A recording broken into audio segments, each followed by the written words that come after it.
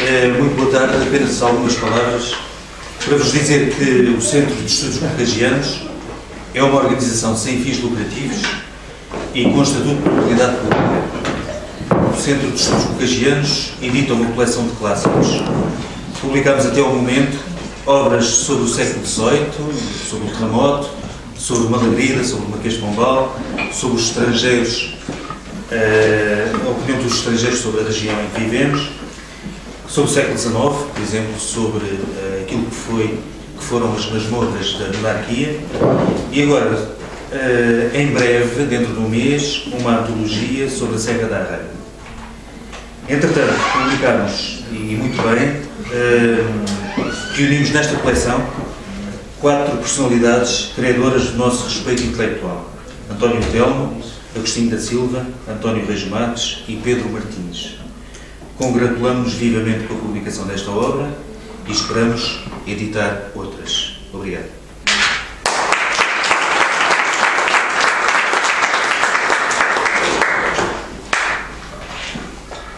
Então, eh, muito boa tarde. Eh, eh, quero agradecer, antes de mais, ao Sr. Presidente da Câmara de Zimbra, o convite, à diretora da Biblioteca, o convite que foi feito para estar aqui presente. Quero agradecer ao Dr. Daniel Pires, o editor também, a confiança que depositou que eu poderia apresentar e, evidentemente, Pedro Martins e António Reis Marques também aceitarem que eu pudesse apresentar da melhor maneira o seu livro. Queria dizer quanto honrado estou por estar a falar frente à doutora Antónia Vitorino e à ANAI neste dia tão especial. Uh, uh, Agostinho da Silva em Sesimbra uh, é um livro de Pedro Martins e António Reis Marques e, ao contrário, neste caso, Pedro Martins, que costuma apresentar os seus quatro livros anteriores que tem aqui na primeira badana a diferença, não, não vou agora citar todos, é, tem uma estrutura radicalmente diferente. Para mim foi uma novidade ver, uh, sobretudo a parte de Pedro Martins, uh, como escreveu este livro. Habitualmente ele escreve, ele escreve, ele, Pedro Martins, escreve um livro apresentando uma tese, logo no princípio. podemos fazer aqui um esquema gráfico e, ver a diferença entre os livros que Pedro Martins costuma escrever e este. Costuma apresentar uma tese, uma tese de início, habitualmente na introdução, na preparação, no introito, depois apresenta argumentos, um, dois, três, quatro, etc., N argumentos contra contra, citando uns estudiosos anteriores estudiosos anteriores que debateram esse tema.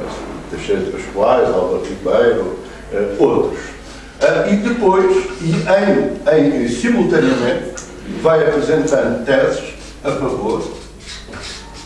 Por favor, estas teses aqui, aqui sim, aqui é uh, da, pode servir-se do auxílio de outros pensadores portugueses anteriores, até António Telmo, Cortesão, Agostinho da Silva, Álvaro Ribeiro, Pascoais, António Cândido Franca, depende dos livros, mas aqui é o Pedro Martins. É o Pedro Martins. Vai apresentando estas teses a favor, estas teses que vão derrotando, derrotando as teses que eram propostas como sendo contrárias à tese que ele apresentava. Finalmente, no final, fecha com a demonstração argumentativa, agora sim, final, da tese que aparecia aqui vazia, digamos assim, como argumento inicial, um argumento, uma, quase uma espécie de teorema que depois tinha que ser demonstrado. E aparece aqui. Mas este livro, pronto, esta é a estrutura geral dos livros do Pedro Martins. Mas o, este livro não. Este livro não, e foi o, que mais o que mais me atraiu, eu fiz aqui um esquema, peço explicação para só uh, tirar aqui o esquema para não me perder. Uh, este, este livro parte de um núcleo absolutamente central. este núcleo central, que é aquilo que, na sua ramificação, já iremos ver, dá vida ao livro. E que está, evidentemente, no título, não é? Que é Sesimbra. Portanto, este é todas estas páginas com uh, Pedro Reis Marques e Pedro Martins, neste caso, como é um livro de colaboração, agora passa a falar nos dois, é Sesimbra. Sesimbra é um núcleo central que nos aparece aqui.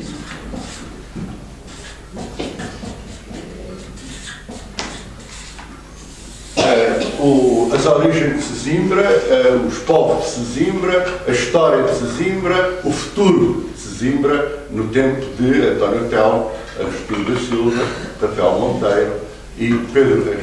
E, a partir de Sesimbra, gera-se uma tensão, uma tensão fortíssima, uma tensão fortíssima, que atravessa, vamos pôr assim, atravessa, atravessa, e atravessa em virtude de quatro interlocutores que estão a trazer. É uma rede se vai estendendo para os lados, tem António Telmo como cabeça, tem como a outra cabeça Agostinho da Silva, tem Agostinho da Silva, e tem como interlocutores especialíssimos Rafael Monteiro, Rafael Monteiro e uh, António Reis Marques. Uh, e este, este, temos que pôr aqui setas, porque vindo desta tensão, todas as conversas dele têm a ver uh, com Sesimbra e, portanto, vamos pôr aqui, uh, assim, exatamente, vamos, onde está aqui este círculo, não é? Que os abarca aos quatro, e os quatro uh, dialogam entre si e fazem projetos e apresentam propostas e fazem análises e conversas às vezes não tão sérias, mas sempre em função de Sesimbra. Mas depois, quando começamos, este é o primeiro esquema. Este é, é um livro. Esta é a estrutura do livro.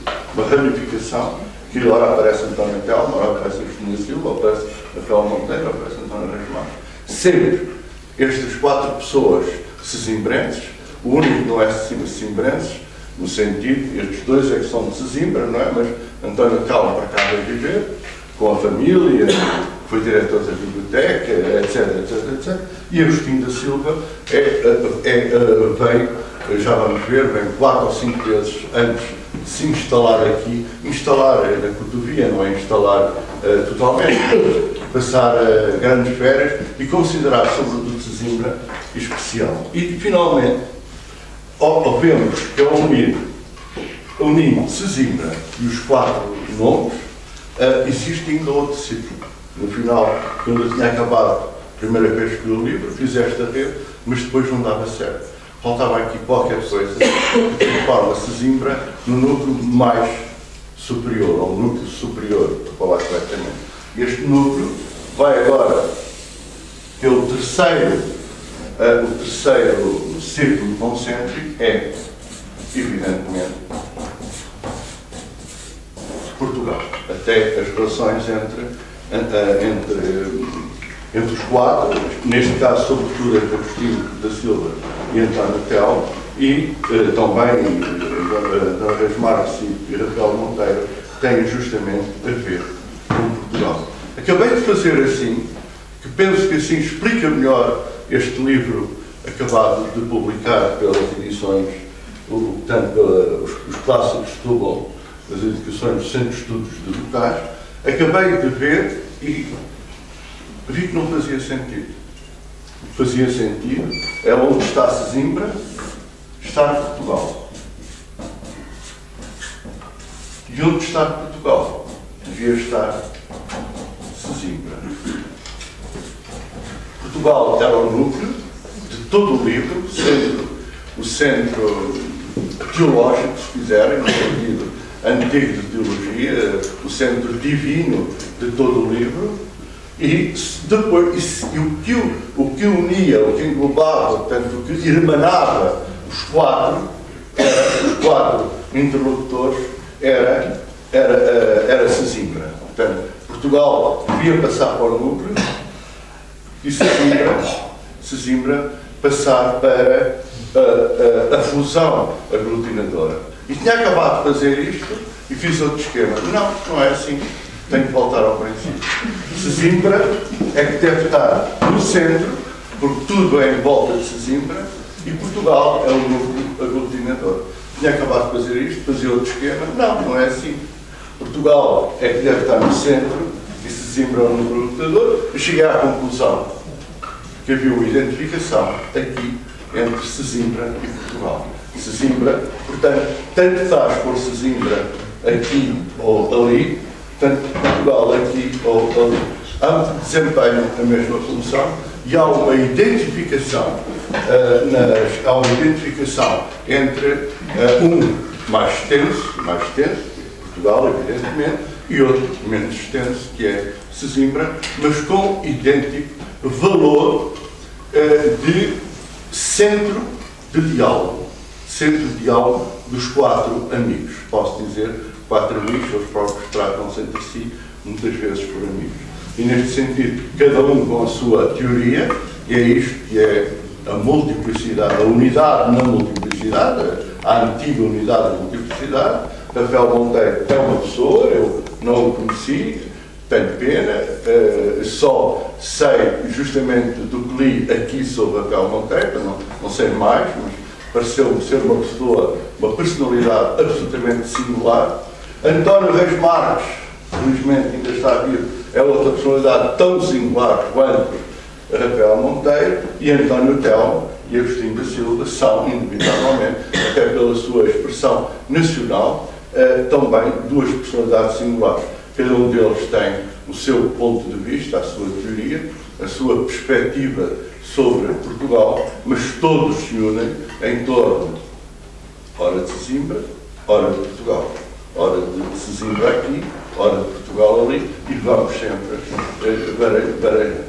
Ora, é justamente, é justamente esta estrutura original, uma estrutura original, porque habitualmente isto não é para livros de ensaios, esta estrutura, mas eh, para romances, sim, eh, chamados hoje é já um talão, mas é, é verdade, chamados romances polifónicos, que, com a grande diferença, não têm não tem esta estrutura uh, unificada, é fragmentado, fragmentado. Este não é um livro fragmentado. Este livro deve ser acompanhado pela leitura das cartas de Agostinho da Silva António Tel, que aqui estão na revista Nova Águia, que vai ser apresentada cá um dia, eu sei que. Não, tá, já foi, já foi. Já foi, ah, já foi. Pronto, ok. Uh, que são complementares, onde se vê agora uh, aqui, por aqui, claro que estão aqui laços de afetividade, mas nesta, na, na correspondência, infelizmente, não temos as de da Silva, as de António Tel para Agostinho da Silva, há aqui, evidentemente, aqui a atravessar, tanto Agostinho da Silva, António Tel, nesta correspondência, há laços de afetividade, laços fortíssimos de afetividade. Uma outra carta é reproduzida aqui, sobretudo as cartas, uh, duas em que, uh, da publicação do História Secreta de Portugal, é aqui, mas Aqui está, evidentemente, mais completa e merecia uma edição de facto, mesmo que era uma edição individual. Que há afetividade entre os dois, há uma uh, afetividade entre Agostinho da Silva e Reis Marques, que Reis Marques é quem informa que uh, o Agostinho da Silva, o, o António Telmo já está em, no Redondo, etc, etc e há também uma afetividade muito, muito. Há uma admiração de António Telmo Reis Monteiro, vou-lhe apresentar uma personalidade singular, diz António Telmo aos da Silva, e há depois uma troca uh, cúmplice, digamos assim, teórica e afetiva, de teoria e de afetividade entre Agostinho da Silva e, uh, e, Reis, e Rafael uh, Monteiro, afetividade. Ora, bem, temos um livro muito completo,